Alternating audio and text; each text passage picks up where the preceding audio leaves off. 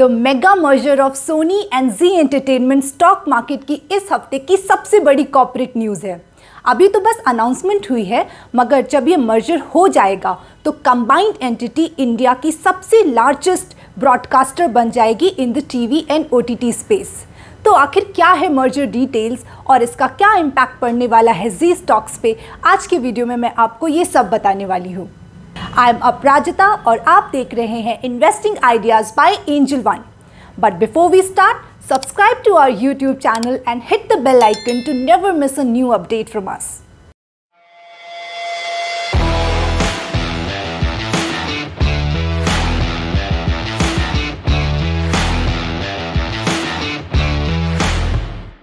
अब बात करते हैं सोनी एंड जी की।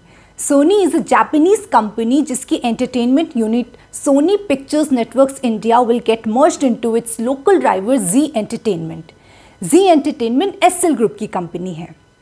S L group has been in trouble waters for last couple of years because the group expanded into unrelated sectors like infrastructure and finance और ये businesses successful नहीं हो सके।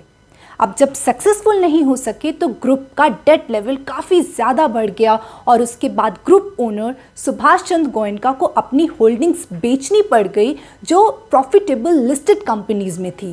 And these companies are Zee Entertainment Zee Learn Zee Media and Dish TV अगर जी entertainment की बात करें तो प्रोमोटर होल्डिंग जो कि 41.62 परसेंट हुआ करती थी 2019 में, वो अब घट करके सिर्फ़ फोर परसेंट के अराउंड हो चुकी है।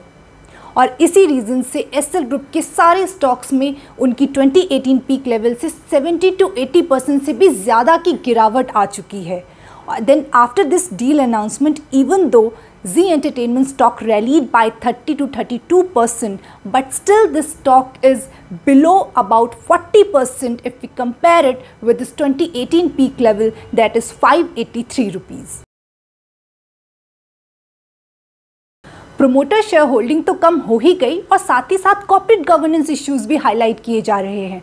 So corporate governance bodies such as I I A S and InGovern they have highlighted misgovernance by independent directors in the board और इसका पिनिकल हमें लास्ट वीक देखने को मिला जब जी एंटरटेनमेंट के largest share holders Invesco Developing Market Fund and O F I Global China Fund they sought an extraordinary general meeting for the reconstitution of the board Together, they hold 17.88% stake in the company and last week they demanded ouster of three directors including Puneet Goenka who is the MD and CEO of the company.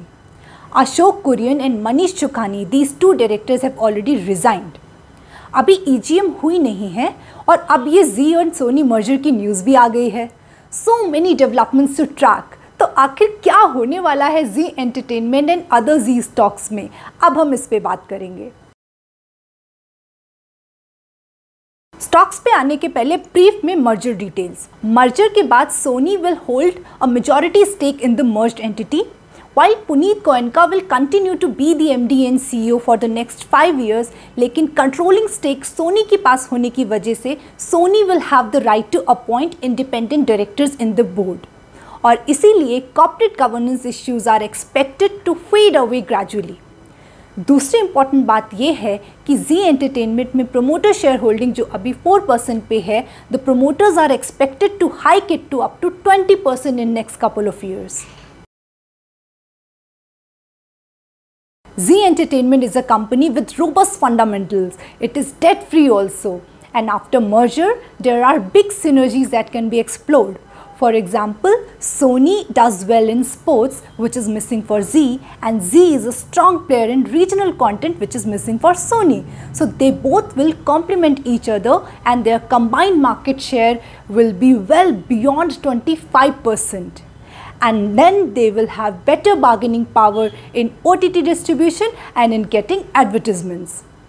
So all in all, this deal is quite positive for Z Entertainment and it will lead to multiple re-rating of the stock.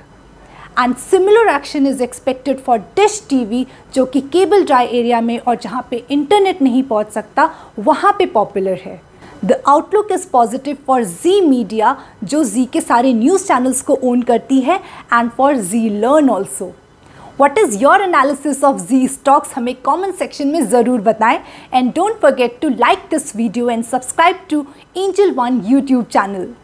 I'll see you next Friday with another trending topic and till then, sayonara.